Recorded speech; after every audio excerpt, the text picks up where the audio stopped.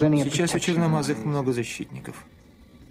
Ассоциация по защите прав цветных, Союз борьбы за гражданские права, даже федеральное правительство.